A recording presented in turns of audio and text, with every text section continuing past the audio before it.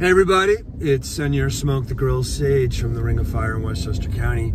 Welcome, you're riding with smoke right now. We're going to talk about a new product that's hit the warehouses. That's the new DCS grill uh, offering an embedded sear burner. This is something DCS has never done uh, since they first came out, I believe in 1988-89. DCS never felt that they had to offer an infrared sear burner um, in the grill. Um, they actually, if you look at the grills, at the setting on the knob, it always it was low, medium, high sear. So their normal burners always got you to searing temperature. They loved the idea that they were able to turn the surface of the grill into a searing zone, whether it's the entire surface, one burner, two burners, whatever it may be. Um, however, you know, once the patent on the infrared burner from TEC expired and other companies were able to offer it, um, I think it just kind of got in the consumer's mind that having an infrared burner was something was a must-have for a high-end premium grill. And DCS fought that fight, and I articulated that for them as well because I didn't really think that you need one. All these grills get hot enough. The grills that offer the sear burners are, I think, around seven, eight hundred dollars more than the normal ones. Um, what this burner is going to do, okay, is um, it's going to take you from unofficially, unofficially, they're saying it's between 700 and uh, 1100 degrees. Okay, so that's that's a good thing because the infrared burners that I have primarily used, like the Alfresco one, it's just basically very hot or uh, like cremation levels, and and you can't cook on that. I mean, you can you can sear on it, yes, but it's a one trick pony. And the fact that this uh, burner can go down to, at least on the low sitting around 700, that's still very hot. But I don't feel like, I feel like you can put things that you're not going to sear on there and cook them. Um, so long as you're on top of it, you don't go away and have three beers and come back. I mean, you just can't do that. You got to watch it. But um, that sweep of temperature allows for some play where the thing is not just going to be there to sear. So there is value to that.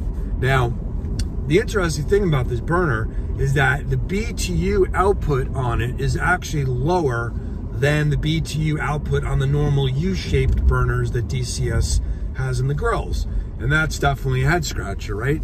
Sear burner, it's supposed to be blistering hot but it's lower, it has a lower BTU output, huh? And it's simply a question, it's a difference of the way that it's the, the heat is distributed to the surface of the grill, okay? So if you took your normal U burner, okay, you have small little ports that are built into that. Some of the grill burners are top ported, some are side ported. If you look at the DCS infrared burner, it is a flat panel that is chock full of these little tiny, tiny ports, little tiny ceramic ports.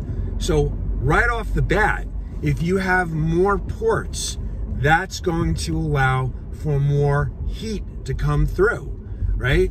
So if you look at a U-shaped burner with the lack of ports, if you want to say that, you look at, you turn the burner on, the flame comes up as like a finger, let's say. Um, if you look at an infrared burner, like this one, okay, the flat panel, which looks like a rectangle, and you see the heat come up from that, you don't even see flames really. There are so many little ports on it, they all become kind of like conjoined, and it just becomes like a flat layer of heat. So we don't see the individual flames coming up like on the U-burner. We just see literally a flat surface of orangish red heat.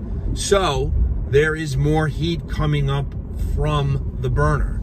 The other thing is it doesn't have layers to get through in order to cook your food, to get to the grate surface. Your U-shaped burner on the DCS system, you've got the burner, and then above the burner, you have your ceramic um, rods, which are encased in metal grates. Then you have another layer, the grate itself, and then your food. On the infrared burner, you don't have the ceramic rods, nor do you have the casing that they're in. So you skip a whole layer. So it is a less impeded journey for the heat to hit the grates and your food. Okay. So let's get this idea that an infrared burner is going to be kicking off 50,000 BTUs. It's like a regular burner on steroids. It's not. It's simply giving you more heat via, it's a different distribution method, and there's just more ports for the heat to come through.